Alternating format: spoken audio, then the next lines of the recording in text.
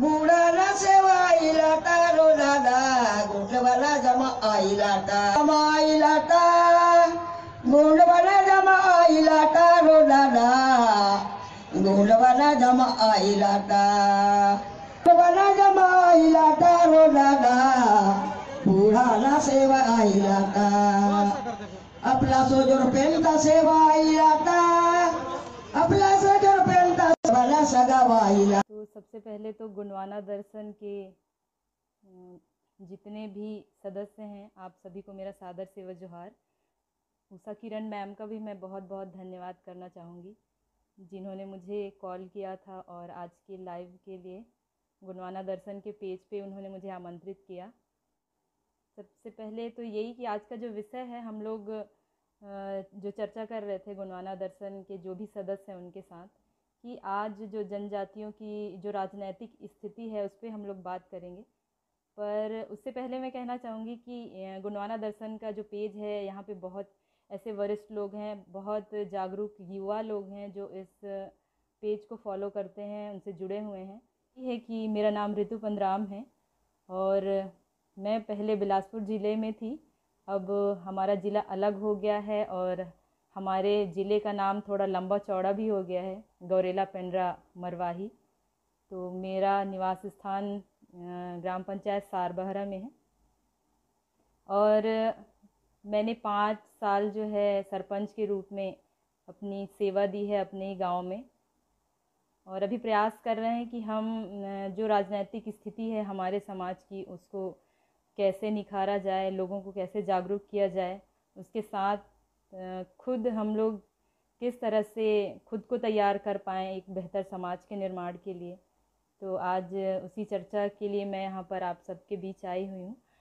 तो सबसे पहले तो मैं यही कहूँगी कि मैंने शुरुआत की थी ग्राम पंचायत चुनाव से और 2015 में मैं चुनाव लड़ी थी और फिर गाँव वालों के आशीर्वाद से मैं सफल भी रही उस पंचायत निर्वाचन में।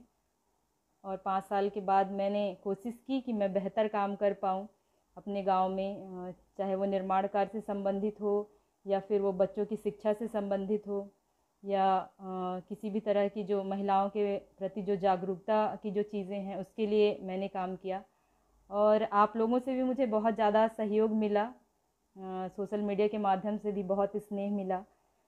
और मेरा जो भी काम है, उसको सराहना की गई और कहीं ना कहीं आप सब लोग उसके हकदार हैं क्योंकि आप सबने एक दूसरे से साझा किया। उससे कहीं ना कहीं मुझे ऊर्जा मिलती थी कि मैं अपने काम के प्रति और निष्ठावान बनूं। तो इसके लिए आप सभी का बहुत बहुत धन्यवाद। तो आज जो मैं चर्चा करने वाली हूँ वो ये है कि जैसे अभी राजनीति की जो स्थिति है आप सभी ग्राम पंचायत से संबंधित होंगे, कहीं ना कहीं आप किसी भी ग्राम पंचायत के निवासी होंगे। तो आज की जो व्यवस्थाएँ हैं कि आज जो हमारा मूल निवासी जो समुदाय है, वो किन परिस्थितियों में खड़ा है? और हमारी जो अस्मिता है, हमारा जो सम्मान है, हमारा जो रीति रिवाज है, हमारी जो संस्कृति है तो इन सब के विषय में आज हम लोगों को चिंता करने की ज़रूरत है, क्योंकि आज जो हमारा अस्तित्व है, वो खतरे में है। और मुझे लगता है जब मैं समाज की बात करती हूँ तो वो ऐसा नहीं है कि उसमें कोई किसी एक समुदाय के बारे में हम चर्चा कर रहे हो क्योंकि इस देश में हर तरह के लोग हैं यहाँ हर जाति धर्म को मानने वाले लोग हैं हर जनजाति समुदाय के लोग हैं। तो हम एक जब बेहतर समाज की बात जब हम लोग करते हैं तो उसमें अ, किसी जाति धर्म से ये संबंधित नहीं होता बल्कि एक बेहतर समाज हम निर्माण करना चाहते हैं जहाँ पे हर जाति और हर वर्ग का व्यक्ति जो है सुरक्षित रहे और शासन प्रशासन की जो व्यवस्थाएँ हैं वो साफ़ सुथरी हों। क्योंकि ग्राम पंचायत में सरपंच रहते हुए मैंने ऐसी बहुत सारी चीज़ें देखी हैं और बहुत कुछ सीखने को मिला है और मुझे लगता है कि इन व्यवस्थाओं में भी है बदलाव होना चाहिए उनमें। क्योंकि जैसे आप अभी देख रहे होंगे, आपकी जो ग्राम पंचायत की व्यवस्थाएँ हैं, छत्तीसगढ़ में ज़्यादातर पंचायतें हैं, अनुसूचित क्षेत्र के अंतर्गत आती हैं और वहाँ पे पेशा कानून लागू है, लेकिन आज तक सरकार के द्वारा भी ये प्रयास नहीं किया गया कि उन पेशा कानून की व्यवस्थाओं के आधार पर, अनुसूचित क्षेत्र के जो नियम कानून हैं, उनके आधार पर किसी भी ग्राम पंचायत की व्यवस्थाएँ संचालित हों। हम लोगों को कहा ज़रूर जाता है कि आपका ग्राम पंचायत है पाँचवें अनुसूचित क्षेत्र के अंतर्गत आता है, यहाँ पेशा कानून है, आपके ग्राम सभा के पास सारा हक और अधिकार है। लेकिन वास्तव में ऐसा होता नहीं है, वास्तविक स्थिति इससे बहुत अलग है। हो सकता है ऐसा ग्राम पंचायत जहाँ पे हर तरह के लोग हों, जागरूक हों और ग्राम सभा का महत्व जो है समझते हों। पाँचवीं अनुसूची क्षेत्र के जो नियम कानून है, उसको समझते हों। तो हो सकता है वो ग्राम पंचायत ऐसा सक्रिय होगा। पर ज़्यादातर आप ग्राम पंचायतों में देखेंगे तो जो ग्राम पंचायत की जो व्यवस्था है, वहाँ पर पंचायत चुनाव हो, चाहे वो ग्राम पंचायत का चुनाव हो, जनपद पंचायत का चुनाव हो या फिर जिला पंचायत का चुनाव हो। तो ये जो पंचायत जो व्यवस्थाएँ हैं, इसने गाँव को तोड़ने का काम किया है। जो हम लोग ऐसा समझते हैं, मैं ऐसा मानती हूँ। क्योंकि कहीं ना कहीं आप देखेंगे तो एक ग्राम पंचायत के चुनाव में भी गाँव का ही व्यक्ति खड़ा होता है। कभी कभी ऐसी परिस्थिति आती है कि एक परिवार से वो व्यक्ति खड़ा हो जाता है। तो वहाँ पे ये समस्या होती है कि भाई भाई में आपस में लड़ाई हो रही है, कहीं एक परिवार में लड़ाई हो रही है। तो कहीं ना कहीं हम लोगों को अब विचार करने की ज़रूरत है कि जो गाँव टूट रहे हैं, जो परिवार टूट रहे हैं, जो घर टूट रहे हैं, उनको हमको बचाना है। और मेरा उद्देश्य भी यही था राजनीति के क्षेत्र में आने का क्योंकि जब हम लोग कॉलेज में पढ़ाई करते थे तब ऐसा किसी का एम नहीं होता था कि नहीं मुझे राजनीति के क्षेत्र में जाना है क्योंकि वहाँ पे हर कोई चाहता था या तो आ, मैं पीएचडी कर लूँ या फिर मैं सिविल सर्विस ज्वाइन कर लूँ या फिर मैं डॉक्टर बन जाऊँ इंजीनियर बन जाऊँ। तो इस तरह के बहुत सारे अलग अलग एम्स होते थे कोई डांसर बनना चाहता है कोई सिंगर बनना चाहता है। लेकिन एक ऐसी परिस्थिति आई कि जब हम लोगों ने समाज के महत्व को समझा समाज के महत्व को जाना कि समाज के प्रति हमारी क्या ज़िम्मेदारी होनी चाहिए इसको हम लोगों ने जाना। और ये सिर्फ़ सफल हुआ आ, हमारे गुणवाना रत्न दादा हीरा सिंह मरकाम जी के संघर्षों के कारण दादा कंगाली जी के संघर्षों के कारण दादा सुनील सिंह ताराम जी के संघर्षों के कारण। और मुझे लगता है कि आज की जो युवा पीढ़ी है इनको हमारे जो महापुरुष हैं, हमारी जो मातृ शक्तियाँ हैं, जिन्होंने अपना पूरा जीवन गुणवाना को जगाने में, अपना पूरा समय दिया, अपना जीवन दिया और फिर अब, आज भी निरंतर यही प्रयास कर रहे हैं कि ये जो समाज है, उसकी जो सामाजिक स्थिति है, किस तरह से उसमें सुधार लाया जा सके। तो मैं ऐसे महापुरुषों को, ऐसे मातृशक्तियों को यहाँ से सेवा जोहार करती हूँ, उनको नमन करती हूँ कि उन्होंने एक ऐसी जन जागृति फैलाई कि आज के जो युवा हैं वो सोचने पे मजबूर हैं कि समाज के प्रति हमारी भी कोई ज़िम्मेदारी है और हम उस जिम्मा, ज़िम्मेदारी का निर्वहन कर सकें। और मैंने तो हमेशा दादा मरकाम जी के ही मार्गदर्शन में काम किया है क्योंकि मुझे कभी ऐसा मौका नहीं मिला कि मैं दादा कंगाली जी के साथ में काम कर सकूँ या दादा ताराम जी के साथ मैं काम कर सकूँ। कभी ऐसा मुलाकात हुई ज़रूर उनसे चौदह जनवरी अमरकंटक के कार्यक्रम में। पर मुझे लगता है, उस वक्त मैं भी उतनी जागृत नहीं थी। पर दादा मरकाम जी के मार्गदर्शन में काम करते हुए मुझे पता चला और कहीं ना कहीं ये एहसास हुआ कि जैसे समाज ने आप आप जब पैदा हुए हैं तो समाज ने आपको पाला पोसा है। क्योंकि माता पिता के तो आप हैं ही कर्जदार। माता पिता का भी आपका उतना ही हक है माता पिता का आप पर। लेकिन समाज की भी एक ज़िम्मेदारी है। समाज ने आपको पाला पोसा है। आप बड़े होंगे समाज आप समाज ही साथ खड़ा होगा जब आपकी शादी होगी, आपका ब्याह होगा। समाज के लोग ही जब आपका अंतिम समय आएगा तो कांधा देने देने के लिए समाज के लोग ही वहाँ पर उपस्थित होंगे। और हर तरह के जो काम हैं, उसमें सिर्फ़ जो समाज के लोग हैं, वो ही खड़े रहते हैं, फिर वो चाहे किसी भी जाति, धर्म के व्यक्ति हों। तो ये जो चीज़ें हैं, इन्होंने मुझे बहुत प्रभावित किया और मुझे लगा कि हमारी भी एक ज़िम्मेदारी बनती है कि हम लोग इस क्षेत्र में कुछ काम करें। तो निश्चित रूप से संघर्ष बहुत ज़्यादा है और प्रयास कर रहे हैं कि हम इन चीज़ों को बेहतर कर सकें। और इसीलिए मैंने 2015 के बाद 2018 में मरवाही विधानसभा से विधायक के लिए मैं वहाँ से चुनाव लड़ी और गुणवाना गणतंत्र पार्टी के संगठन ने ही ये निर्णय लिया कि जो युवा हैं उनको मौका देना चाहिए। क्योंकि उनका हमेशा मानना था, पार्टी का हमेशा मानना था, दादा मरकाम जी का हमेशा मानना था।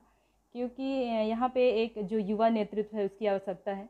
युवाओं में नए विचार होंगे, नई ऊर्जा होगी, नए तरह से काम करने के उनके पास नए नए तरीके होंगे तो एक मौका उनको भी दिया जाना चाहिए। और ये संगठन ने बहुत बड़ी ज़िम्मेदारी दी थी मुझे, क्योंकि आज की जो राजनीतिक व्यवस्था है, उससे आप और हम सब अच्छी तरह से वाकिफ़ हैं कि किस तरह से राजनीतिक पार्टियाँ यहाँ पर चुनाव लड़ती हैं।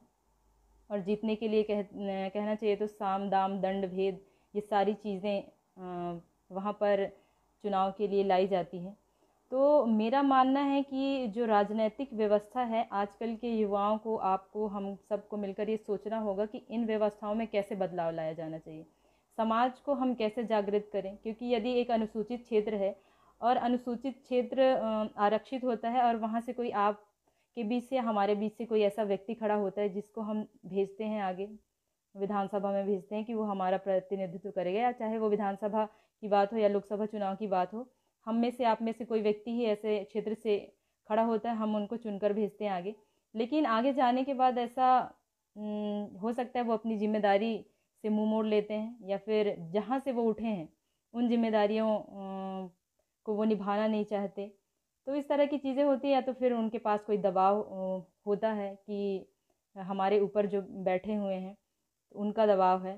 तो मेरा मानना है कि यदि आप समाज के लिए काम कर रहे हैं तो आपको संगठन के हिसाब से काम करना चाहिए। और जैसे अभी भी हाल ही में हमारे यहाँ उपचुनाव होना है तो राजनीतिक पार्टियाँ लगी हुई हैं आपस में कि किस तरह से हम इस चुनाव को जीत सकें और कैसे हम एक दूसरे को मात दे सकें।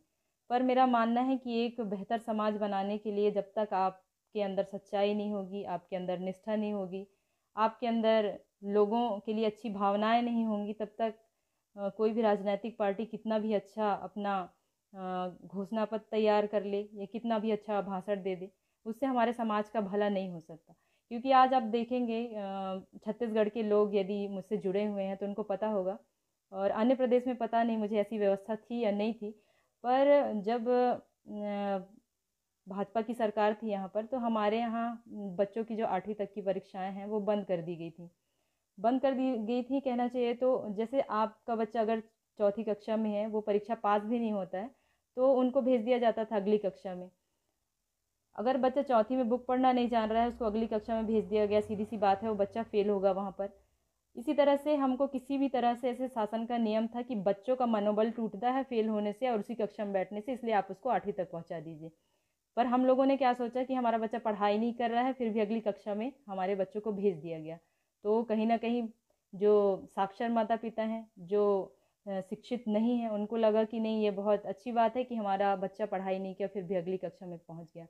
लेकिन हम लोगों ने वहाँ पे ये विचार नहीं किया कि जिस बच्चे की नींव ही हम लोगों ने तोड़ दी है, जिसकी प्राथमिक शिक्षा हम लोगों ने ख़त्म कर दी है क्या दसवीं या फिर बारहवीं जैसी बोर्ड कक्षाओं में जाकर बच्चा पास होगा या नहीं होगा तो इस तरीके से जो हमारी शिक्षा व्यवस्था के साथ खिलवाड़ किया गया, जो हमारी प्राथमिक शिक्षाएँ हैं वहाँ पर आ, आज भी गाँव में ऐसे स्कूल हैं जहाँ पे सिर्फ़ दो शिक्षक होंगे और दो से अगर ज़्यादा हुए तो तीन शिक्षक होंगे। तो आप की जो शिक्षा व्यवस्था है ऐसी शिक्षा व्यवस्था में आप कैसे अनुमान लगाएँगे कि आपका बच्चा पढ़ के डॉक्टर बनेगा इंजीनियर बनेगा या किसी अच्छे पोस्ट पे जाएगा या फिर राजनीति के क्षेत्र में जाएगा या फिर अपनी रुचि के क्षेत्र में जाएगा किसी भी तरीके के? क्योंकि जो विचार जो विकसित होते हैं जो मानसिक विकास होता है बुद्धि का वो तो वहीं से ख़त्म कर दी गई ये सारी चीज़ें।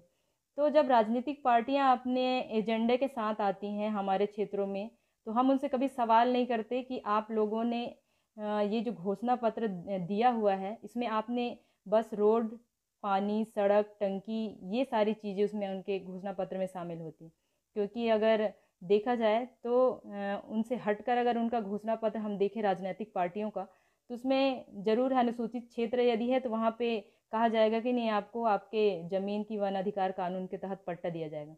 लेकिन 2005 से लेकर आज तक आप लोग देख रहे होंगे या फिर आप अपने गाँव में हैं, वहाँ ग्राम पंचायतों में जाकर देखेंगे तो आज तक ऐसा कभी नहीं हुआ कि कोई व्यक्ति यदि अपने पुरखों के ज़माने से काबिज है और उसे उसका पूरा पट्टा दिया गया हो।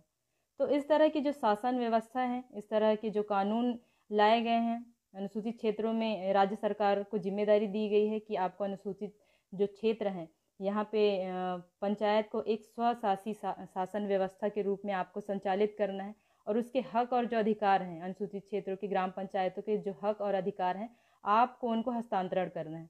लेकिन आज अनुसूचित क्षेत्रों के कारण के लोग जो शोषण का शिकार हो रहे हैं और जिस तरह की समस्याओं को झेल रहे हैं, वो कहीं ना कहीं कारण है शिक्षा का, क्योंकि जो ग्रामीण परिवेश में जो रहने वाले लोग हैं, उनकी शिक्षा ऐसी हुई नहीं कभी या शिक्षा का ऐसा अधिकार हम लोगों को दिया नहीं गया, स्कूलें ज़रूर खोली गई, पर ऐसी शिक्षा व्यवस्था नहीं की गई। ऐसी गुणवत्तापूर्ण शिक्षा नहीं दी गई कि हम लोग कहीं पर जाके अपने हक और अधिकार के लिए बोल सकें। आज भी जितने भी अनुसूचित क्षेत्र हैं, वहाँ पर आप जाएँगे, वहाँ पर आपको मातृशक्तियाँ मिलेंगी, पितृशक्ति भी मिलेंगे, लेकिन उनको कभी भी आपके अपने अनुसूचित क्षेत्र के बारे में जानकारी नहीं होती। तो फिर हम कैसे अनुमान लगाएँ कि हम लोग अपने हक और अधिकार के लिए लड़ने के लिए खड़े होंगे वहाँ पर? तो ये सारी जो चीज़ें हैं ये जो ग्रामीण परिवेश में रहने वाले लोग हैं, उनके साथ ही ये जो शोषण है, होते आ रहा है और लगातार होगा ही, क्योंकि मैं बहुत क्षेत्रों में तो नहीं गई हूँ, इसलिए मैं चाहूँगी कि मैं अपना अपने जगह पर, मेरे जगह पर जो शासन प्रशासन की जो व्यवस्थाएँ हैं, उनके बारे में चर्चा करूँ। हो सकता है ऐसी व्यवस्थाएँ जो अन्य क्षेत्र के अनुसूचित क्षेत्र हैं, वहाँ पर भी ये सारी चीज़ें ही शासन प्रशासन की लापरवाही वहाँ पर देखने को मिलती होंगी। जैसे कि हमारा अभी जो छत्तीसगढ़ राज्य है, वहाँ पे कांग्रेस की सरकार है। और पर यहाँ पर, जो हमारा ज़िला है गौरेला पेंड्रा मरवाही तो यहाँ पे जो तीन गाँव हैं, उसे नगर पंचायत बनाने की घोषणा कर दी गई। आप सबको पता है, अनुसूचित क्षेत्र का एक नियम कानून होता है कि अगर अनुसूचित क्षेत्र को किसी तरह से ग्राम पंचायत को नगर पंचायत बनाना है तो उसके अलग नियम कानून होते हैं। लेकिन अनुसूचित क्षेत्र का व्यक्ति क्यों चाहेगा कि उसका ग्राम पंचायत टूट कर नगर पंचायत में कन्वर्ट हो जाए। क्योंकि यदि हमारे पास सारी शक्तियाँ ग्राम सभा में हैं, जैसा कि आप सभी जानते हैं, ना लोकसभा, ना विधानसभा, सबसे बड़ी ग्राम सभा।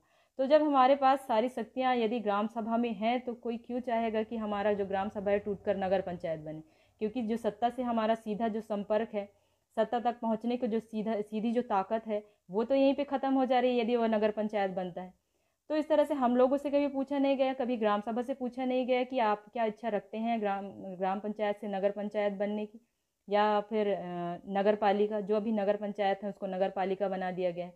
तो ये जो राजनैतिक, जो स्वार्थ साधने के लिए जो काम किया जाता है, यहाँ पर मैं किसी राजनीतिक पार्टी की बुराई तो नहीं करूँगी, लेकिन ये सच है कि समाज को तोड़ने के लिए, गाँव को तोड़ने के लिए घर परिवार को तोड़ने के लिए ये सारा जो है काम किया जाता है।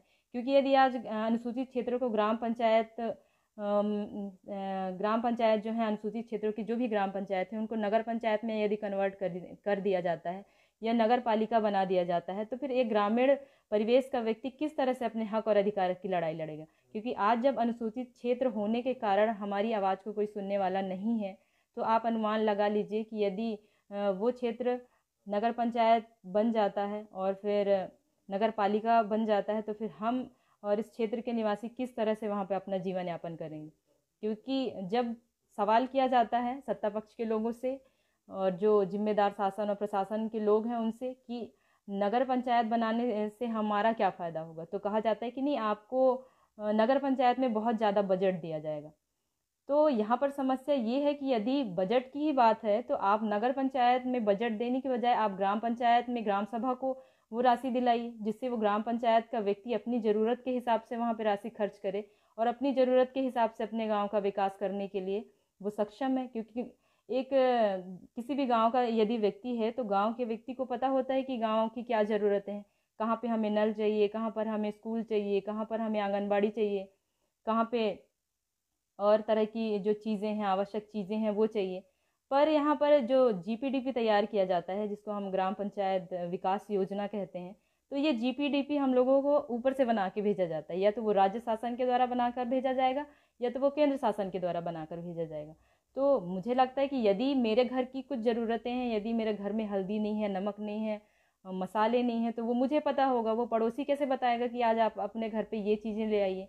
तो इसी तरह का काम होता है कि जो ग्राम पंचायती पंचायत की जो ज़रूरत है उसको ग्राम पंचायत के निवासियों से ना पूछकर वो राज्य सरकार या केंद्र सरकार तय करती है और वहाँ से ग्राम पंचायत की जो विकास योजनाएँ हैं, वो बनाकर भेजी जाती हैं। यदि आप किसी तरह ग्राम पंचायत की योजनाएँ यदि बनाकर दे भी देते हैं, आपके गाँव में आपको किन चीज़ों की ज़रूरत है, आप पाँच साल तक वेट करते रह जाएँगे, पर उन योजनाओं के बारे में आपको कभी भी कोई भी जानकारी नहीं मिलेगी। क्योंकि हमारे जनपद में ऐसी व्यवस्था है कि वहाँ जो नवनिर्वाचित जितने भी जनप्रतिनिधि होते हैं उनको किसी तरह का प्रशिक्षण नहीं दिया जाता। जबकि यदि कोई नवनिर्वाचित कोई जनप्रतिनिधि है तो सीधी सी बात है, हर पंचवर्षीय में ये होना चाहिए कि जनपद के माध्यम से या राज्य शासन के माध्यम से एक प्रशिक्षण होना चाहिए उनके लिए कि आपके जो अनुसूचित क्षेत्र हैं या यदि वो सामान्य क्षेत्र हैं फिर भी कि किस तरह के आपके नियम कानून हैं, आपके क्या हक अधिकार हैं, आपके ग्राम पंचायत में किस तरह की व्यवस्थाएँ होनी चाहिए, आपके ग्राम पंचायत के अंदर किस तरह की समितियों का गठन होगा, किस तरह की समितियाँ आपके यहाँ काम करेंगी, वन समितियाँ क्या काम करेंगी शिक्षा से संबंधित जो समितियाँ बनी हुई हैं वो क्या काम करेंगी, निर्माण समितियाँ क्या काम करेंगी। तो इस तरह की जो चीज़ें हैं वो जनपद से हम लोगों को कभी नहीं बताई जाती थी। और अभी तो एक कोरोना का जो प्रकोप फैला हुआ है तो इस साल के जो नवनिर्वाचित जो जनप्रतिनिधि हैं, उनको तो कभी मुझे लगता है कि अभी ग्राम सभा तक जाने का मौका नहीं मिला है। लेकिन उसके बावजूद भी हमारे मरवाही को नगर पंचायत की घोषणा कर दी गई, नगर पंचायत बनाने की घोषणा कर दी गई, जबकि ऐसे समय में संभव ही नहीं था कि कोई ग्राम सभा वहाँ पर बुलाया जा सके और ग्राम सभा में कोई निर्णय लिया जा सके। तो इस तरह की जो व्यवस्थाएँ हैं, जिसमें जो शोषित वर्ग हैं, कहना चाहिए, क्योंकि एक अनुसूचित क्षेत्र में ज़रूरी नहीं है कि वहाँ पे सिर्फ़ एक ही समुदाय का व्यक्ति रहेगा, वहाँ सामान्य वर्ग का भी व्यक्ति रहेगा, वहाँ एसटी भी रहेगा एससी भी रहेगा ओबीसी भी रहेगा। तो जब मैं विचार करती हूँ, मैं व्यक्तिगत रूप से जब विचार करती हूँ समाज के बारे में तो मुझे लगता है कि एक ऐसा समाज गठित होना चाहिए, जिसमें प्रत्येक व्यक्ति को अपना बात, अपना हक और अधिकार जानने का, उनको रखने का, शासन और प्रशासन के सामने बोलने का, कहने का अधिकार होना चाहिए, और उनके हिसाब से उन पर कार्रवाई भी होनी चाहिए। लेकिन आजकल की जो चुनाव व्यवस्था है उसमें मतदाताओं को है प्रलोभन दिया जाता है कि आप पार्टियाँ ताकत लगाती हैं कि आप किस तरीके से लड़ भिड़ कर इस चुनाव को जीतें। क्योंकि आ, मेरा अनुभव रहा है 2015 का मैंने जो चुनाव आ, लड़ा है उसके बाद मैं 2018 में विधानसभा प्रत्याशी रही हूँ गुणवाना गणतंत्र पार्टी से और मैं भी पुनः उपचुनाव में प्रत्याशी हूँ गुणवाना गणतंत्र पार्टी से ही। तो यहाँ पर कई लोगों का विचार ये होता है कि इसके अलावा भी आपके पास कई ऑप्शन हैं जहाँ पर आप जा सकती हैं और आपको एक बहुत सुनहरा मौका मिलेगा कि आप एक जनप्रतिनिधि के रूप में एक सरपंच से और आप आगे बढ़ सकती हैं। लेकिन आप जिस पार्टी से आप चाहती हैं, आप जिस पार्टी से आप प्रतिनिधित्व करना चाहती हैं, उस पार्टी में ऐसा कुछ है नहीं कि आप कुछ बेहतर कर सकें। तो मेरा मानना है कि जो गुणवाना गणतंत्र पार्टी, जहाँ से मैं प्रत्याशी हूँ और फिर जहाँ के लोगों ने मुझे खड़ा किया है तो ये एक संगठन की ताकत है, क्योंकि निश्चित रूप से, आर्थिक रूप से जो इस क्षेत्र के जो निवासी हैं वो सक्षम नहीं है, पर उनका स्नेह मुझे मिलता है, उनका सहयोग मुझे मिलता है। वो लोग खुद अपने घर से निकलते हैं, मैं अपने घर से निकलती हूँ। वो अपने खर्चे पे अपने घर से निकलते हैं, मैं अपने खर्चे पे अपने घर से निकलती हूँ। कभी ज़रूरत होती है हम उनके घर में जाकर खाना खा लेते हैं, वो कभी हमारे घर में खाना खा लेते हैं। तो एक जो सहयोग की भावना है, वो दादा मरकाम जी ने जो इस पार्टी का जो गठन किया था और हमारे जो, और जो वरिष्ठ लोग हैं, उन्होंने जो निर्णय लिया गुणवाना आंदोलन को चलाने का जो निर्णय था दादा मरकाम जी का, दादा कंगाली जी का, दादा ताराम जी का तो ये जो ऐसे महापुरुष हैं, इनको निश्चित रूप से आज की जो युवा पीढ़ी है, उनको याद रखना चाहिए, क्योंकि इन्होंने अपना पूरा जीवन दिया है। और कभी कभी हताशा भी होती है, क्योंकि जो व्यवस्थाएँ हैं, आज जो देश में जैसी व्यवस्थाएँ चल रही हैं बहुत सारी चीज़ें हैं, कभी अनुसूचित क्षेत्र में या ग्रामीण क्षेत्रों में, चाहे वो अनुसूचित क्षेत्र हो या समान क्षेत्र हो, ग्रामीण क्षेत्र में हम लोगों ने कभी इस तरह की घटनाएँ नहीं सुनी, जब हम लोग बचपन में अपने गली मोहल्लों में खेला करते थे, हमने कभी मात्र शक्तियों के साथ दुर्व्यवहार की बातें नहीं सुनी लेकिन आज तक आज ये हो रहा है कि आज अब हमारे ग्रामीण क्षेत्रों में भी ऐसा परिवेश विकसित हो चुका है कि आज जो मात्र शक्ति हैं अपने घर से निकल कर बाहर नहीं जा पा रही हैं। क्योंकि कहीं ना कहीं एक, जो सामाजिक जो बदलाव आना चाहिए, लोगों के विचार में जो बदलाव आना चाहिए, मन मस्तिष्क में जिस तरह की भावना होनी चाहिए, वो चीज़ें ख़त्म होती जा रही हैं। और यही कारण है कि हमारे जो गुणवाना आंदोलन के जो भी महापुरुष हैं, उन्होंने हमेशा यही सिखाया कि जो हमारी जो संस्कृति है जैसे कहते हैं कि जैसे अगर गंदा पानी एक जगह रुक जाए तो वो सड़न देने लगता है या फिर वो दूषित हो जाता है। तो इसीलिए जो हमारी जो संस्कृति है, वो एक बहती हुई महानदी के समान है, जिसे हम लोग को संरक्षित करना पड़ेगा और निश्चित रूप से एक पीढ़ी से दूसरी पीढ़ी तक इसको भेजना होगा। और मेरा मानना है और मैंने जो सीखा है अपने बड़ों से, वो यही सीखा है कि संस्कृति का मतलब ये नहीं कि आप किस देवता की पूजा करते हैं, किन्हें मानते हैं। संस्कृति वो है जो हम अपने पुरखों से सीखते आ रहे हैं। हमने अपने पुरखों से क्या सीखा? सीखा हुआ ज्ञान जो है, वही संस्कृति है। और जो हमारे पुरखों की जो संस्कृति रही है, वो तो एक प्राकृतिक विचारधारा रही है। जैसे प्रकृति किसी में भेदभाव नहीं करती वैसे ही हमारी पुरखों की जो परंपरा रही, हमारी संस्कृति रही, वही हमारी जो रीति रिवाज रही है कि यदि प्रकृति ने किसी के साथ भेदभाव नहीं किया तो हम इंसान होकर कैसे किसी के साथ भेदभाव कर सकते हैं? और प्रकृति से बड़ी जो ताकत है, यहाँ पर मुझे लगता है और कुछ नहीं है, और जितने मुझे लगता है, जितने लोग भी मुझसे जुड़े जुड़े हुए हैं, आप सभी लोग मेरी बातें सुन पा रहे हैं तो सहमत होंगे इस चीज़ से कि दुनिया में अगर कोई ताकत है तो प्रकृति शक्ति से बड़ा कोई ताकत नहीं है। तो आज का जो ये लाइव सेशन है तो उसमें जितने लोग भी जुड़े हुए हैं मुझसे, उनका बहुत बहुत धन्यवाद जो मेरी बातों को सुन रहे हैं, निश्चित रूप से अगर कोई त्रुटियाँ अगर होती हैं तो मैं उसके लिए क्षमा भी चाहूँगी। पर जो शासन और प्रशासन की जो व्यवस्थाएँ हैं, जिस तरीके से हम लोगों के साथ खिलवाड़ किया जा रहा है, ग्रामीण क्षेत्र में आप लोग अक्सर देखेंगे कि विकास की जब बात होती है यहाँ पे तो हम लोगों को विकास के रूप में समझाया जाता है कि आपके गाँव में नाली बनाएँगे, आपके गाँव में सड़क बनाएँगे, आपके गाँव में हैंडपम्प खुदवाएँगे और ज़्यादा से ज़्यादा हुआ तो भवन निर्माण करवाएँगे।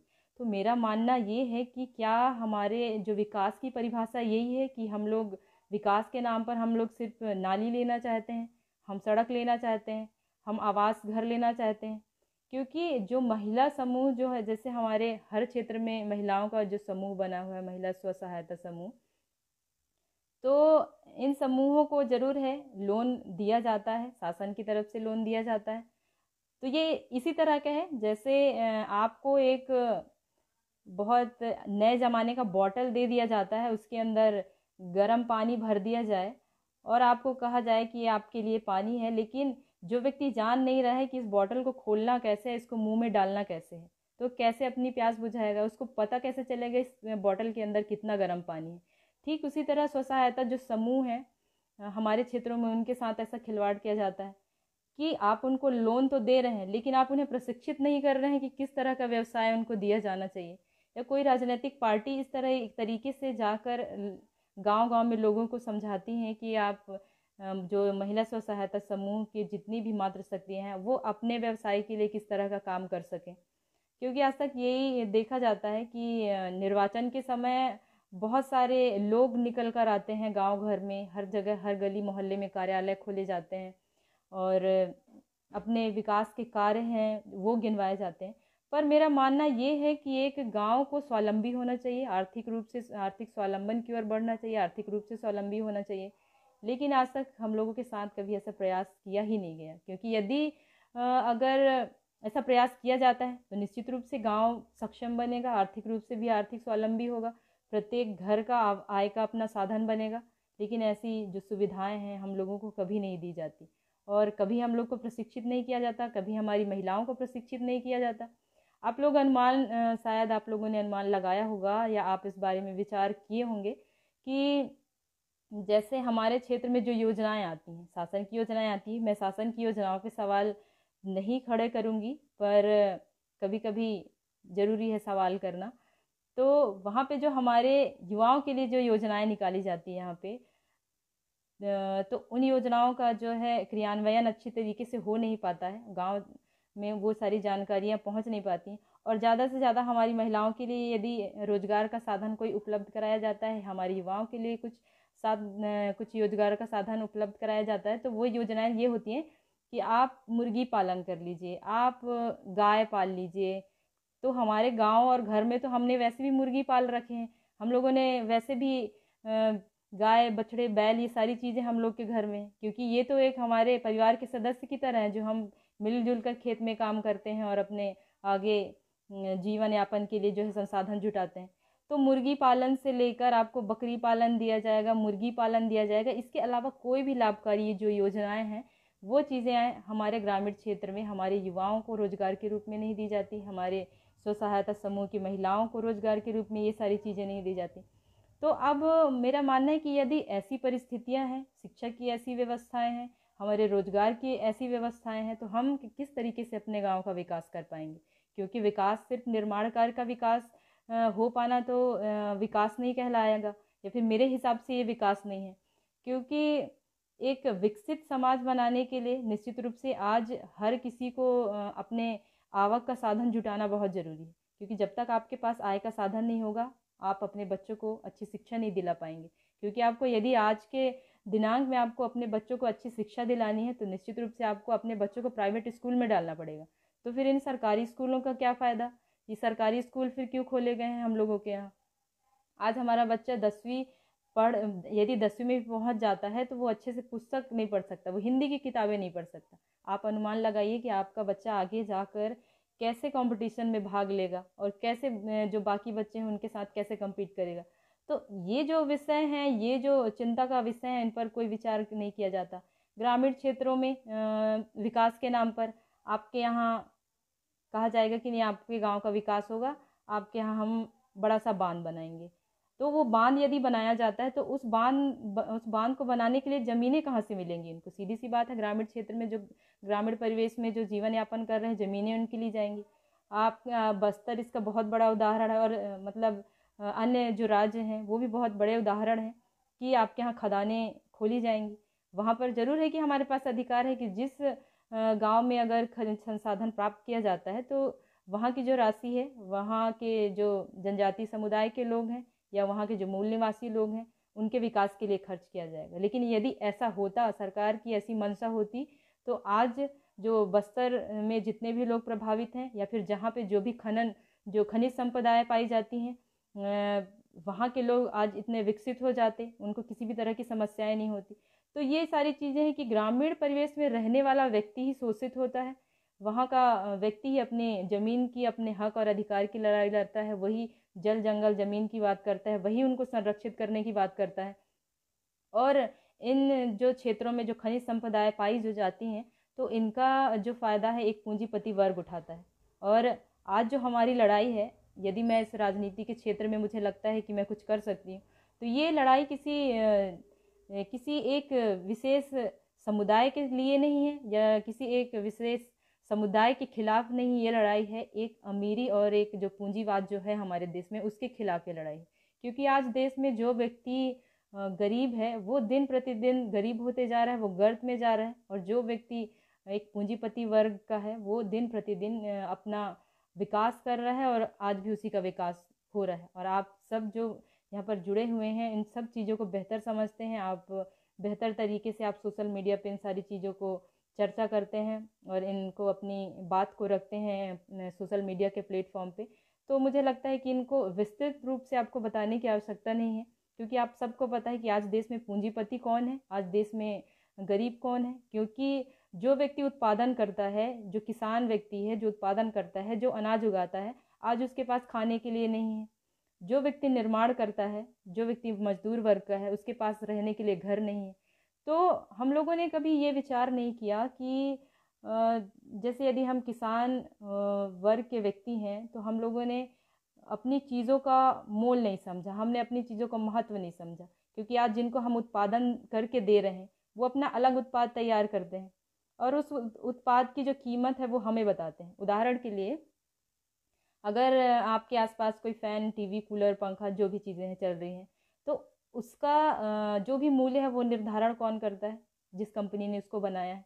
लेकिन हम किसान वर्ग के हो के आज जो देश का पेट पाल रहा है, वो व्यक्ति अपने अनाज का जो दाम है, वो तय नहीं कर पाता। हम लोगों से पूछते हैं, जो पूंजीपति वर्ग लोग हैं, जो सेठ साहूकार हैं, हम उनसे पूछते हैं कि आप हमारे अनाज की क्या कीमत लगाएँगे? क्योंकि खून पसीना बहा के जिस तरह से हम अपने घर के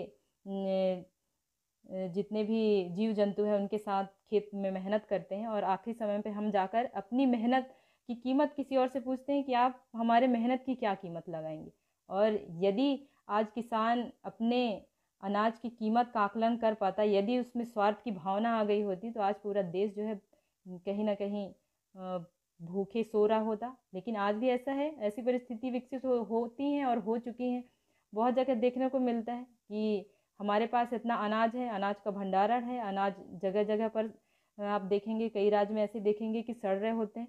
लेकिन एक देश में ऐसी पीढ़ी है, ऐसे लोग हैं कि वो फुटपाथ पे अपना जीवन व्यतीत करने के लिए मजबूर हैं और ऐसी व्यवस्थाओं पे कोई विचार नहीं करता है।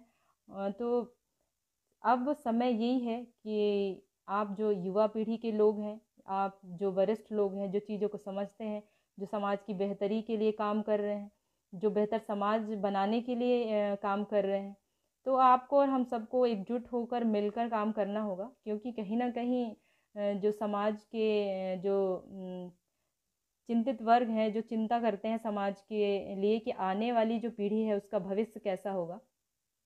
तो दिक्कत यहाँ पर यह है कि हम लोगों ने इतने सारे संगठन बनाए हुए हैं, फिर वो चाहे सामाजिक संगठन हो, फिर चाहे वो राजनीतिक संगठन हो हम लोग इतने ज़्यादा संगठन में बटे हुए हैं कि हम लोग अपनी लड़ाई जो है एक साथ एक प्लेटफॉर्म पर खड़े होकर नहीं लड़ पा रहे यही कारण है कि आ, हम अपनी अपनी कहीं ना कहीं हर व्यक्ति की विचारधारा यही है कि एक बेहतर समाज का निर्माण करें और जो शोषित वर्ग है तो उनके साथ खड़े होकर हम शोषक वर्ग के खिलाफ एक निर्णायक जो जंग है वो लड़ें। लेकिन समस्या यही है कि हम लोगों ने इतने हज़ारों संगठन बनाए हुए हैं कि उन संगठनों में हम अपने, अपनी विचारधारा को लेकर कहीं ना कहीं किसी न किसी दिशा में जा रहे हैं। परिणाम हम सब यही सोचते हैं, अंतिम जो हमारा लक्ष्य है यही है कि जो शोषित वर्ग है उनके लिए हम लड़ाई लड़ रहे हैं, लेकिन जो हमारा संगठन है वो इस तरह से अलग अलग है और कारण यही है कि हम जिनके खिलाफ जिन शोषित वर्ग जो शोषण करते हैं, उनके खिलाफ जो लड़ाई लड़ रहे हैं और सफलता ना मिलने का जो कारण है, मुझे लगता है यही मुख्य कारण है। और आपको और हम सबको इस विषय पर विचार करना होगा कि किस तरीके से हम बेहतर समाज बनाने के लिए इस पहल को करें। और ये बहुत अच्छी बात है कि आज सोशल मीडिया का ऐसा प्लेटफॉर्म है कि हम सब एक दूसरे से संपर्क के माध्यम से जुड़े हुए हैं। क्योंकि आज तक ऐसा कोई भी न्यूज़ चैनल नहीं है जो मूल निवासियों की समस्याओं को दिखाए, जो जनजाति समाज की जो समस्याएँ हैं उनको दिखाएँ। ये बहुत चिंता का विषय है कि हमें हर क्षेत्र में अब विकसित होना है। हमें अपने ग्रामीण परिवेश में रह रहे बच्चों को आगे उनका अच्छा भविष्य देना है। क्योंकि हम लोगों ने कहीं ना कहीं एक व्यक्तिगत जीवन जीना शुरू किया था। और उस व्यक्तिगत जीवन के कारण क्या हुआ, हम आज भी अपना व्यक्तिगत जीवन ही जी रहे हैं। और हमारे जो दादा मरकाम जी हैं, वो हमेशा कहते हैं कि जो व्यक्तिगत जो पूंजी है, आपने खुद के लिए जो बनाई है, वो व्यक्तिगत पूंजी आपको स्वार्थ की ओर ले जाती है। और यदि वही पूंजी सामुदायिक है तो निश्चित रूप से वो सामुदायिक पूंजी जो है आपको परमार्थ की ओर लेके जाएगी। परमार्थ का अर्थ है कि मतलब अच्छे कार्यों की ओर ले जाएगी। तो यदि आज हम समाज के लिए काम करते हैं, यदि समाज के रूप में हम संगठित होकर काम करते हैं तो हमारे गाँव घर का बच्चा जो है आगे हम उसको सहयोग दे पाते हैं तो अच्छी जगह पर जाएगा, अच्छी शिक्षा प्राप्त करेगा, अच्छे रोज़गार से जुड़ेगा।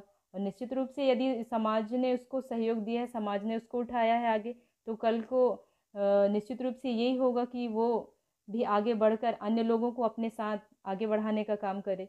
तो इन भावनाओं के साथ जो है दादा मरकाम जी का गुणवाना आंदोलन उन्होंने चलाया हुआ था। और दादा मोतीरामन कंगाली जी दादा सुनील सिंह ताराम जी, इन्होंने अपना साहित्य को बचाने का काम किया, भाषा को बचाने का काम किया, रीति रिवाज को बचाने का काम किया। मेरा मानना है कि यदि दादा मरकाम जी आज राजनीति किए होते, यदि वो चाहते कि वो एक सफल राजनेता बने तो उनके पास बहुत सारे विकल्प थे। पर उन्होंने ऐसा नहीं किया, क्योंकि उन्हें लगता था कि कहीं ना कहीं एक शोषित वर्ग जो है, वो है मेरे आसपास ही है और मैं उनको किस तरह से उठाने का काम करूँ। तो मुझे लगता है ऐसे जो महापुरुष हैं, जिन्होंने गुणवाना आंदोलन के लिए अपना जीवन समर्पित किया इन महापुरुषों के प्रति युवाओं को और सभी को कहना चाहिए तो एक मान सम्मान उनके लिए होना चाहिए। आने वाली पीढ़ी उनको याद करे और जो भी हम लोगों ने सीख ली है, जो भी हम लोगों ने शिक्षा ली है, मुझे लगता है इन महापुरुषों से, इन मातृशक्तियों से ही हम लोगों ने शिक्षा ली है। और निश्चित रूप से हम कोशिश कर रहे हैं कि हम ऐसे अच्छे विचारों के साथ, बिना किसी स्वार्थ के चल पाएँ।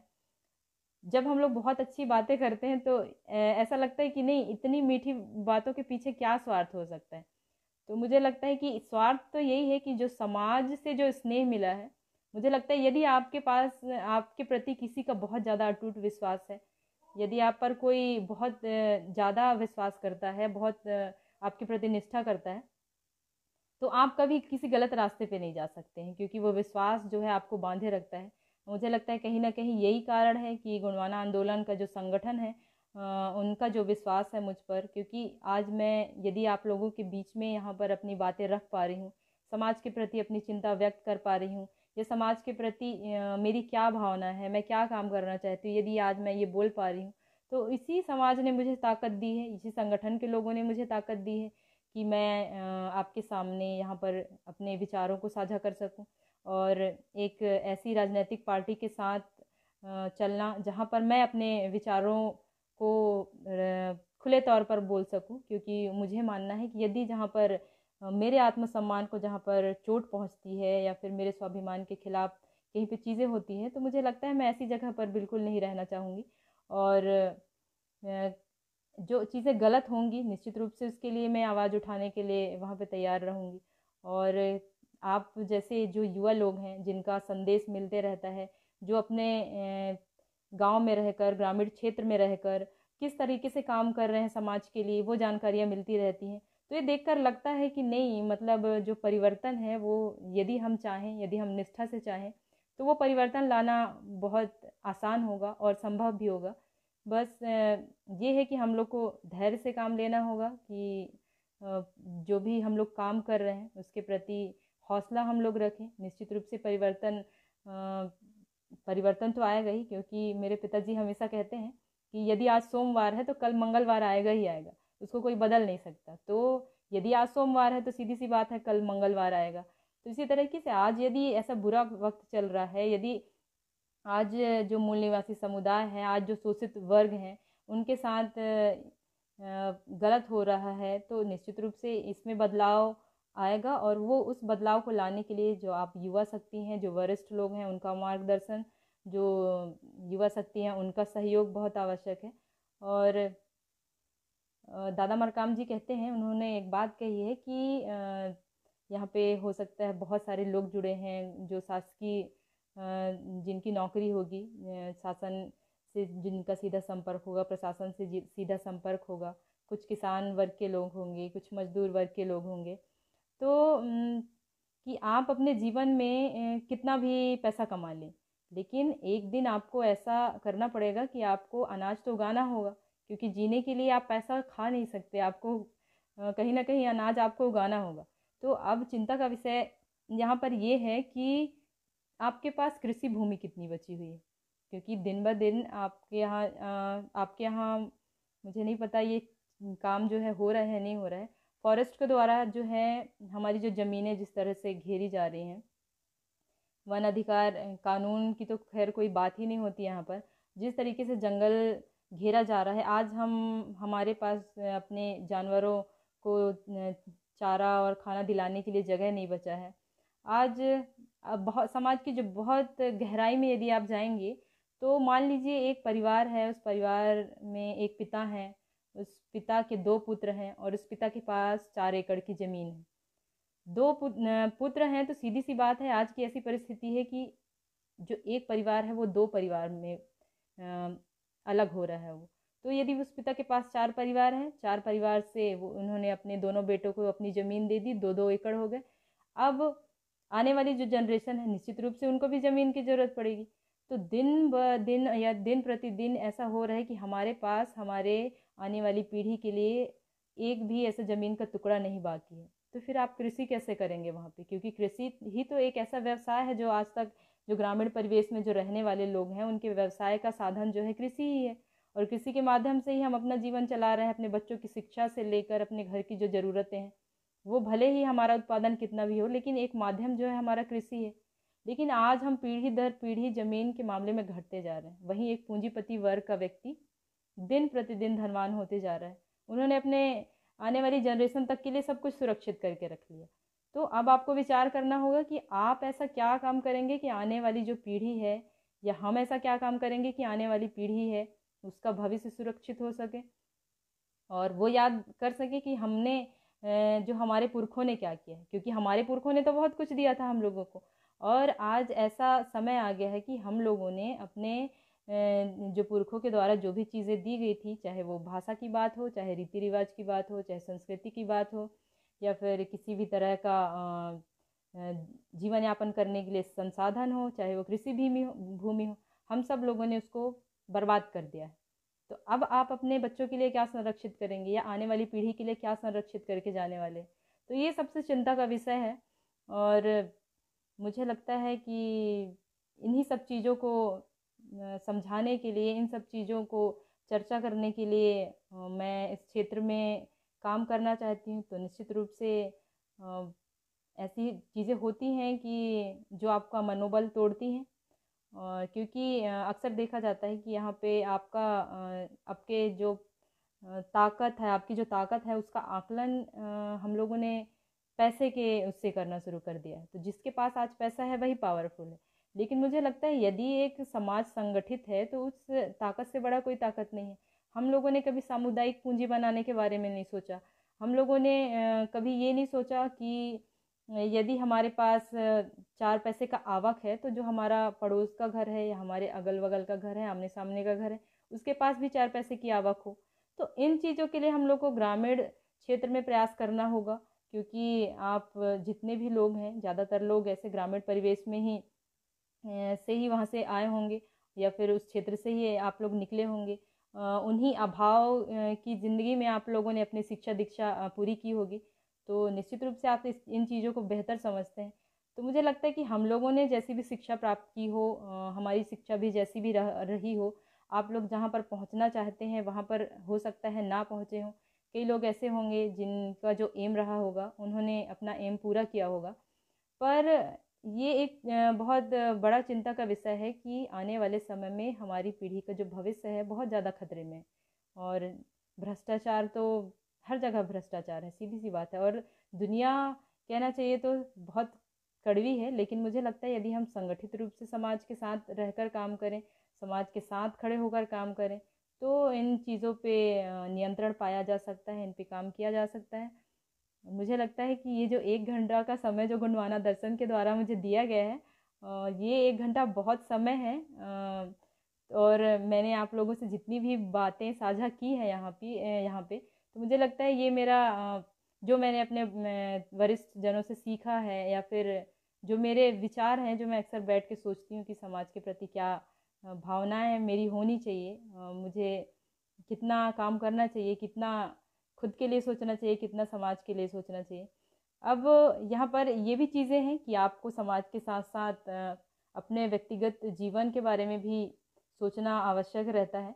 क्योंकि जीव, व्यक्तिगत जीवन के बारे में कहना चाहिए तो आपकी जो रुचियाँ हैं सीधी सी बात है, जब हम लोग कहीं पे बैठते हैं तो ऐसा नहीं है कि हम सिर्फ़ या तो राजनीति की बातें करें या तो फिर सिर्फ़ ऐसे बहुत जटिल मुद्दों पे बात करें, क्योंकि जीवन एक ही मिला है तो हर तरह की चीज़ें आप अपने परिवार के लिए, आप समय देना ज़रूरी है, आप अपने जो सगे संबंधी हैं, आपके जो मित्र बंधु हैं उनके लिए आपको समय निकालना पड़ता है। और ये चीज़ें मुझे लगता है ये बहुत ज़रूरी हैं, क्योंकि जो ताकत जो आपको मिलती है, ताकत जो हमें मिलती है, वो आपके परिवार से मिलती है, आपके दोस्तों से मिलती है, आपके साथ चलने वाले लोगों से मिलती है।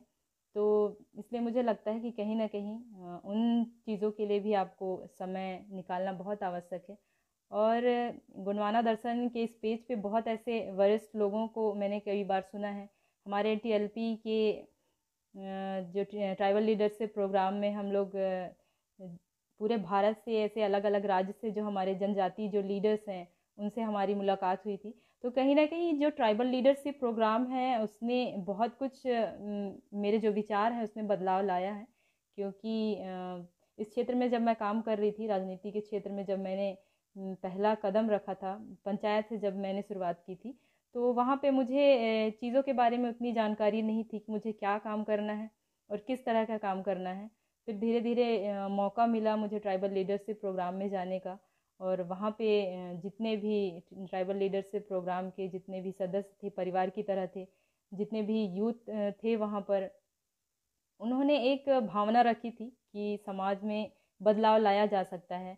हमारे साथ नरेंद्र जी भी जुड़े हुए हैं, सतलुज भी हैं रविंद्र भी हैं तो और राजकुमार राजकुमार भी हैं। राजकुमार से मैं बिलासपुर में मिली थी और सतलुज से मेरी बहुत पुरानी पहचान है।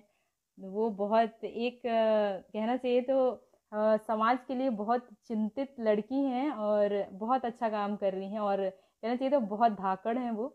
तो मुझे ऐसे जो बहुत सारे लोगों से मुलाकात हुई तो जिससे मुझे हौसला मिला कि अगर सीधी सी बात है हम एक जगह पर नहीं हैं। निश्चित रूप से यदि हम एक जगह पर होते एक साथ काम कर रहे होते तो बहुत परिवर्तन लाया जा सकता था। लेकिन हम लोग बहुत दूर हैं एक दूसरे से अपने अपने क्षेत्र में सब काम करने की कोशिश कर रहे हैं। तो एक जो संगठन का जो ताकत अचानक से जो देखने को मिलता है तो उस ताकत को दिखाने के लिए हमारे जितने भी लोग हैं वो आ, काम करने की इच्छुक ज़रूर हैं लेकिन तितर बितर हैं, कोई अपनी जगह पर अकेले काम कर रहा है, कहीं दो लोग मिलकर काम कर रहे हैं। तो मुझे उनको देखकर हौसला मिला कि जो परिवर्तन है, वो लाया जा सकता है और यदि इन्होंने हार नहीं मानी, ये भी प्रयास कर रहे हैं तो मुझे भी आगे और प्रयास करना चाहिए। और मुझे लगता है जो मैं अभी आप लोगों से एक चीज़ और साझा करूँगी कि अभी जैसे उपचुनाव जो होने वाला है हमारा, गौरेला पेंड्रा मरवाही जो ज़िला अभी हम लोग का बना है यहाँ पे मरवाही विधानसभा क्षेत्र में जो उपचुनाव होने वाला है। तो ये मेरे लिए दोबारा मौका है।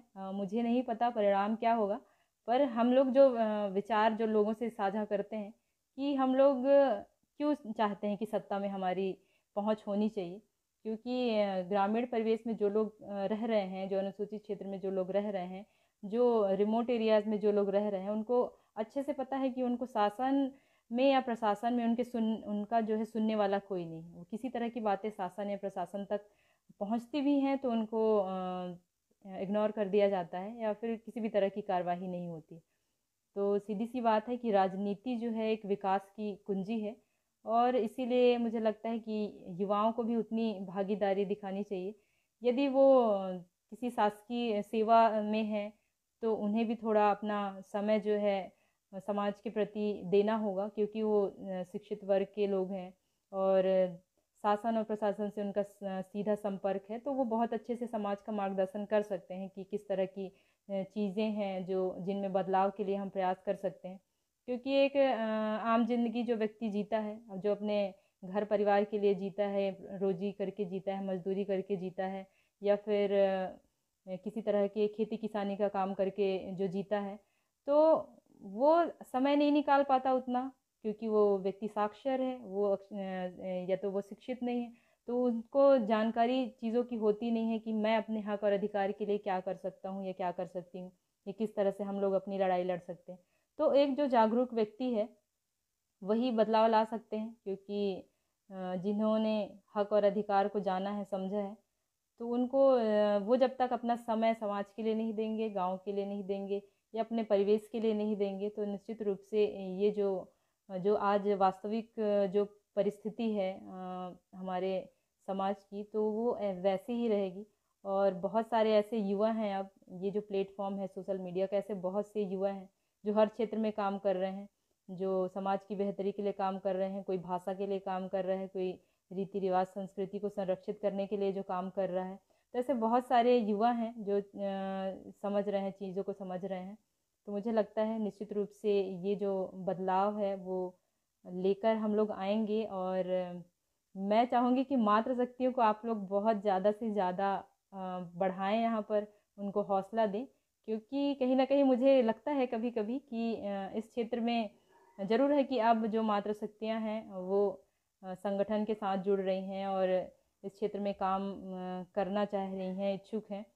लेकिन जब मैंने यहाँ पे इस क्षेत्र में जब मैंने काम शुरू करना शुरू किया था, तब मुझे लगता था कि यहाँ पे युवाओं की जो संख्या है वो कम है, ख़ासतौर पे मातृशक्तियों की जो संख्या है वो कम है। तो वो चीज़ें कभी मुश्किल हो जाती हैं कि यदि हम अकेले हैं तो किस तरीके से काम को करें। पंचायत के दौरान भी जब मैं ग्राम पंचायत में सरपंच के पद पर थी, तब भी ऐसी बहुत सारी चीज़ें होती थी। शासन की तरफ़ से दबाव होता था, प्रशासन की तरफ़ से दबाव होता था, क्योंकि आज भी यही है, यही लोगों में भ्रांतियाँ फैलाई जाती हैं कि यदि आप शासन और प्रशासन के साथ नहीं चलेंगे या उनके हिसाब से काम नहीं करेंगे तो आपके खिलाफ कार्रवाई होगी। कौन सी कार्रवाई होगी? धारा चालीस की कार्रवाई होगी। और धारा चालीस की कार्रवाई से मतलब जितने भी जनप्रतिनिधि हैं वो इतना, पता नहीं इतना क्यों डरते हैं? क्योंकि यदि आप समाज के लिए काम कर रहे हैं, समाज सेवा के क्षेत्र में काम कर रहे हैं और यदि आप सही काम कर रहे हैं तो मुझे नहीं लगता कि कोई भी, जब आपके साथ संगठन आपका खड़ा हो तो कोई भी आपको पद से हटा दे। तो कहीं ना कहीं यही कारण है कि जो हमारे जो अनुसूचित क्षेत्र में ज़्यादातर जो सरपंच हैं, जो मात्र शक्तियाँ जो सर, जो सीट आरक्षित रहते हैं उनके लिए तो कहीं पे मात्र शक्तियाँ वहाँ पे जनप्रतिनिधि होती हैं। सरपंच के रूप में कई क्षेत्रों में उन्हें प्रधान कहा जाता है। तो वहाँ पर एक दबाव बनता है उन पर कि यदि हम काम नहीं करेंगे तो हमारे खिलाफ़ कार्रवाई होगी। और बहुत सारी चीज़ें हैं, जो व्यक्ति शिक्षित नहीं है तो सीधी सी बात है, उनके लिए ये बहुत कठिन विषय हो जाता है कि पंचायती जो राज अधिनियम है, उसके अनुसार किस तरीके से काम करें। तो वहाँ पे शासन भी हावी होता है, प्रशासन भी हावी होता है। यदि आपके यहाँ कोई मंत्री जी आ गए तो आपको अपने पंचायत से पैसे खर्च करके आपको उनकी गाड़ी का खर्च देना पड़ेगा। यदि कोई पत्रकार आ गए तो आपके लिए उन्होंने बधाई पत्र छाप दिया अपनी मर्ज़ी से तो आपको उनको, क्योंकि ये बहुत आम चीज़ें होती हैं। ये अक्सर होता है, देखने को मिलता है कि जो कुछ पत्रकार बंधु जो होते हैं, स्थानीय जो होते हैं, वो खुद अपनी खुशी से छाप देते हैं, बधाई दे देते हैं पंद्रह अगस्त, छब्बीस जनवरी की। जबकि पंचायत में ऐसी व्यवस्थाएँ नहीं होती है कि आप किसी तरह के प्रचार प्रसार के लिए आप अपने पंचायत की राशि का उपयोग करें। लेकिन ऐसा जो है, ऐसी व्यवस्थाएँ हैं। मुझे लगता है छत्तीसगढ़ के हर पंचायत में ऐसी व्यवस्थाएँ होंगी, पर जहाँ पे व्यक्ति जागरूक है, जहाँ पे जनप्रतिनिधि जागरूक हैं, जहाँ पे लोग समझते हैं तो वो इन चीज़ों का जो है खुलकर विरोध करते हैं कि इस जो पंचायत की जो राशि है, उसका सही उपयोग किया जा सके। और क्योंकि ये होता है कि अगर कोई मंत्री आ रहे हैं, कोई नेता आ रहे हैं तो निश्चित रूप से यदि गाँव के जो लोग हैं, उनकी जो समस्याएँ हैं, यदि वो लेकर अपनी इच्छा से जाना चाहते हैं तो उस गाँव का जनप्रतिनिधि उनकी व्यवस्था करेगा। लेकिन यहाँ पे अलग तरह का दबाव बनता है कि आप एक जनप्रतिनिधि हैं तो हम सत्ता पक्ष के हैं तो आपको ये काम करना पड़ेगा। तो कहीं ना कहीं एक मातृ शक्तियों में या फिर वो पितृ शक्ति हो, एक डर बैठा रहता है कि अगर मैंने ये ऐसा नहीं किया तो मेरे खिलाफ कार्रवाई होगी। अगर मैंने इनके अकॉर्डिंग काम नहीं किया तो मुझे पद से हटा दिया जाएगा। तो ये सारी चीज़ें जानने की ज़रूरत है, समझने की ज़रूरत है, क्योंकि कहीं ना कहीं कारण यही है कि हम लोग आज तक लड़ते आ रहे हैं कि नहीं, हमारे क्षेत्र का जो है विकास होना चाहिए, हमारे क्षेत्र में रोज़गार होना चाहिए, हमारे क्षेत्र में शिक्षा होनी चाहिए। लेकिन आज भी हम लोग उन्हीं सब, जो भी समस्याएँ हैं, उनका सामना हम लोग कर रहे हैं। और जो विधानसभा, जो उपचुनाव होने वाला है तो उसमें जो भी बातें मैंने आपसे कही हैं तो इसी तरह की बातें भी मैं उन लोगों से ही करती हूँ, क्योंकि मुझे लगता है कि मेरे पास देने के लिए जैसे और जो प्रत्याशी होते हैं, उनके पास देने के लिए होता है बर्तन, कपड़ा, साड़ी और पैसे, शराब तो इस तरह की जो राजनीति है, मुझे नहीं लगता है इस तरह से आप कितना भी कहें कि आप इस क्षेत्र का विकास करना चाहते हैं मुझे लगता है कि जब आप एक व्यक्ति का मत खरीदना चाहते हैं तो आप समाज के लिए, समाज सुधार के लिए फिर आप किस तरीके का काम कर रहे हैं? जब आप लोगों को सिखा रहे हैं कि नहीं, आप आप हमें, हमारे सामान के बदले आप हमें अपना मत दीजिए तो मुझे लगता है कि एक जो मत होता है, वो बहुत कीमती है, अपना जो ईमान है, और मुझे लगता है आपके यहाँ भी ये होता होगा, पर मेरा मानना है कि मेरे पास लोगों को देने के लिए लोगों से साझा करने के लिए मेरे विचार हैं कि मैं किस तरह के विचार उनको बांट सकती हूँ, क्योंकि बांटने के लिए मेरे पास बिल्कुल भी कुछ भी नहीं है, ऐसा कोई सामान नहीं है कि मैं कोई सामान बांट सकूँ और उनका जो जीवन है उसको मैं निरंतर चला सकूँ। निश्चित रूप से मैं उनसे यही कहती हूँ कि आपके साथ साझा करने के लिए, आपके पास बांटने के लिए मेरे विचार हैं और हो सकता है इन विचारों से एक अच्छा बदलाव लाया जा सकता है। और ये बदलाव तभी संभव होगा जब आप सब संगठित होंगे, जब आप सब मेरे साथ खड़े होंगे। लेकिन जो सबसे बड़ा जो दुख है, मुझे यही लगता है कि इतने सारे संगठन बने हुए हैं, जब आप व्हाट्सअप मुझे लगता है ये चीज़ें बहुत ज़्यादा एक स्पीच की तरह हो रही हैं तो थोड़ी कुछ नॉर्मल बातें भी करनी चाहिए। तो जब आप अपना व्हाट्सअप ग्रुप देखेंगे ना तो वहाँ पे हर एक नया संगठन वहाँ पर बना होता है कि एक संगठन का व्यक्ति है, काम वो वही करना चाहता है, लेकिन वो अपना अलग संगठन बना के करेगा। फिर इस तरह से मेरे मेरे पास करीब डेढ़ सौ के आसपास ऐसे संगठन हैं तो कभी कभी समस्या हो जाती है कि मैं किन संगठन के व्यक्तियों की कैसे विचारों को वहाँ पर पढ़ूँ तो मुझे लगता है कि सबको एक ही जगह पर आकर काम करना चाहिए। यदि आप चाहते हैं कि जो शोषित वर्ग के लोग हैं उनके लिए आप लड़ाई लड़ रहे हैं तो आप उस लड़ाई को एक निष्ठा से लड़िए ईमानदारी से लड़िए। और मुझे लगता है कि अभी तक हम लोगों ने झूठ बोला नहीं सीखा इसलिए साथ चलने वालों की संख्या कम है। तो ये गुड़ भी थोड़ा मुझे लगता है लाना पड़ेगा क्योंकि कहीं ना कहीं कारण यही है कि हम लोग अपने जब विचारों को लग, रखते हैं तो लगता है कि नहीं ऐसे विचार अच्छे हैं सुनने में अच्छे हैं। लेकिन आप जब उनको धरातल पर उनको लेकर जाते हैं, जब आप चाहते हैं कि यहाँ पे इन चीज़ों का क्रियान्वयन है, जो वो होना चाहिए तो वो चीज़ें संभव नहीं हो पाती। वैसे मैं आपके कमेंट्स पढ़ लेती हूँ, आप सब मुझसे बहुत देर से कनेक्टेड हैं और मुझे लगता है आपके जो भी विचार हैं, मुझे, आप आप आप जो कह रहे हैं वो मुझे पढ़ना चाहिए, क्योंकि सुन तो मैं सकती नहीं। ये ईयरफोन मैंने इसलिए यूज़ किया क्योंकि मेरी वॉइस हो सकता है आप तक ना पहुँचे सही ढंग से।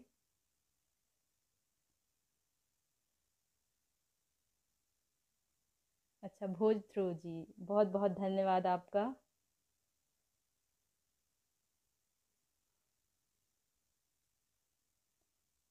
नरेन नरेन, मैं आपसे बहुत ज़्यादा प्रभावित हूँ और आप, आपकी आपकी जो सराहना है मतलब जो आप हमेशा सराहना करते रहते हैं मेरे कार्यों को लेकर तो तो मुझे लगता है कि नहीं, आप जितनी सराहना करते हैं, उसकी हकदार हूँ नहीं मैं। और गुणवाना दर्शन से भी मेरा एक निवेदन है, या फिर निवेदन नहीं कहना चाहिए, मैं उनको बहुत धन्यवाद करना चाहूँगी, जिन्होंने मुझे यहाँ पर आमंत्रित किया और मेरे विचारों को आप लोगों तक पहुँचाने का प्रयास किया। अरे, और मुझे तो पता ही नहीं चला कि समय मतलब एक घंटे का समय हो गया है और अभी भी आप इतने सारे लोग मेरे साथ बने हुए हैं और मुझे वाकई में मुझे पता नहीं चला कि मैं आप लोगों के बीच किन चीज़ों को मैं साझा कर रही हूँ, क्योंकि ऐसा होता है कि मुझे ऐसा मुझे बहुत ज़्यादा यकीन था कि यदि मैं अगर लाइव आती हूँ तो बहुत सारे लोग मुझसे जुड़ेंगे। तो शायद इसी वजह से मुझे पता ही नहीं चला कि मैंने अपनी बहुत सारी बातें रख दी आप लोगों के सामने। पर आप लोगों के कमेंट्स मैं पढ़ ही नहीं पाई। और करने के लिए तो बहुत सारी बातें हैं। मुझे लगता है कभी ऐसा मौका मिला और जब आप सबसे कभी ऐसा रूबरू होने का मौका मिलेगा तो हम लोग बहुत सारी बातें करेंगे। और एक घंटे का समय मैंने ले लिया है मुझे वाकई में ऐसा नहीं लगा कि एक घंटा हो गया। और आप सबके सहयोग के लिए बहुत बहुत धन्यवाद। आप जो मेरे जो विचार हैं जो कभी मैं फेसबुक पर पोस्ट करती हूँ या मुझसे संबंधित कोई किसी भी तरह की, की जो भी खबर है वो सब आप साझा करते हैं। तो आप वाकई में आप यकीन नहीं करेंगे, लेकिन मुझसे, मुझे उनसे व्यक्तिगत रूप से बहुत ज़्यादा मैं उनसे प्रभावित होती हूँ, उनका बहुत प्रभाव पड़ता है मुझ पर जितने लोग हैं या फिर जितने लोग मुझे मैसेंजर पर अपना संदेश देते हैं तो कभी कभी मैं उन संदेश का जवाब नहीं दे पाती हूँ, पर मैं मैं आप सब लोगों को, आपके सब के पोस्ट या फिर आप जो भी कमेंट्स करते हैं तो मैं ज़रूर है उनको, मैं देखती हूँ, मैं उनको पढ़ती हूँ और मुझे बहुत ज़्यादा ऊर्जा मिलती है आप सबसे। तो आज के इस लाइव के लिए उषा किरण मैम का भी बहुत बहुत धन्यवाद जिन्होंने मुझे पर्सनली कॉल किया था कि मैं कुछ चीज़ों को आपके सामने साझा करूँ। और वड्डे जी का भी बहुत बहुत धन्यवाद और कमल भाई का भी बहुत बहुत धन्यवाद जिनसे मेरी बात हो रही थी इस लाइव के लिए। और आज तो हमारी वीरांगना रानी दुर्गावती जी की जयंती है तो उनको भी सादर सेवा नमन, क्योंकि रानी दुर्गावती जी एक ऐसी वीरांगना है, जिनके बारे में पढ़कर बहुत ज़्यादा ऊर्जा मिलती है मुझे। और मैं हमेशा कोशिश करती हूँ कि मैं मंडला के उन जगहों पर जा पाऊँ, जहाँ पे गुणवाना का एक गौरवशाली इतिहास रहा है, जो आज भी जीवित है। वहाँ के गढ़ जो हैं, वहाँ के किले जो हैं, आज भी उसी तरह से मज़बूत हैं। तो बहुत बहुत धन्यवाद आप सभी का मुझसे जुड़ने के लिए। और यदि आपका अगर कोई प्रश्न हो या फिर कुछ पूछना चाहते हैं तो आप मुझसे पूछ सकते हैं क्योंकि आप सबने जो इतना समय दिया है तो मुझे लगता है कि यदि आप कुछ प्रश्न करना चाहें मुझसे तो मैं भी आपको समय दे पाऊँ। थैंक यू जग्गू भाई। जग्गू भाई तो खैर अभी उपचुनाव में मेरे साथ ही हैं यहाँ पर। साथ देने के लिए वो हैं यहाँ पर। Jai Shiva Mohan ji. Thank you Narendra thank you so much for joining us हाँ आपको कुछ, अगर किसी का कुछ सवाल हो तो आप बिल्कुल बेझिझक पूछ सकते हैं। मुझे, मुझसे कुछ गलतियाँ हुई हों तो बिल्कुल उसको बोल सकते हैं। उस उस पर मैं बल्कि सुधार का काम करूँगी। मैं बुरा नहीं मानूँगी। मैं सुधार का काम करूँगी इस पर तो या फिर आप लोगों का कोई प्रश्न ना हो तो मैं चाहूँगी कि मैं आप सबसे इजाज़त ले लूँ, क्योंकि गुणवाना दर्शन की जिस पेज से मैं आप लोगों के बीच हूँ तो उनको भी लगेगा कि आज मैं लाइव आई तो हूँ, आप लोगों के बीच पर जाने का नाम नहीं ले रही हूँ। सेवा जोहार कोमल भैया। जय सेवा योगेंद्र भाई। सतलुज सतलुज जी। सतलुज, आप मेरी बहुत अच्छी दोस्त हैं और आपसे मुझे बहुत ज़्यादा ऊर्जा मिलती है। तो हमारा और आपका कनेक्शन जो है, वो तो हमेशा के लिए बना हुआ ही है। तो ठीक है, आप सब मुझसे किसी भी तरीके का प्रश्न नहीं कर रहे हैं तो बिल्कुल मैं आप जाने की इजाज़त लेना चाहूँगी। और बहुत बहुत बहुत ज़्यादा धन्यवाद आप सभी को जिन्होंने अपना कीमती समय जो है इस लाइव के लिए निकाला और आ, अभी भी निरंतर डेढ़ सौ से ज़्यादा लोग मेरे साथ बने हुए हैं। तो ये मेरे लिए बहुत ही खुशी की बात है कि आप सब एक बेहतर समाज की कल्पना करते हैं बेहतर समाज बनाने के लिए प्रयास कर रहे हैं। तो निश्चित रूप से हम सब एक दिन सफल होंगे और ऐसा समाज बनाएँगे जहाँ पे मातृ शक्ति के प्रति मातृत्व का भाव हो और पितृशक्ति के प्रति पितृत्व का भाव हो और निश्चित रूप से सब एक दूसरे के साथ सम्मान के साथ यहाँ पर रहें। हमारी जो मूल निवासी संस्कृति है, हमारी जो मूल निवाज रीति रिवाज है, हमारी भाषा है, उसको हम लोग संरक्षित कर सकें। और फिर कभी मौका मिला तो निश्चित रूप से मैं आप लोगों के बीच जो है आऊँगी फिर कभी। तो तब तक के लिए आप सभी को जय सेवा, जय जोहार, जय फड़ापेन। और गुणवाना दर्शन के पेज को और वहाँ जितने भी सदस्य हैं उनको पुनः मेरा बहुत बहुत धन्यवाद। उषा किरण मैम को भी बहुत धन्यवाद जिनको, जिन्होंने मुझे यहाँ पर आमंत्रित किया।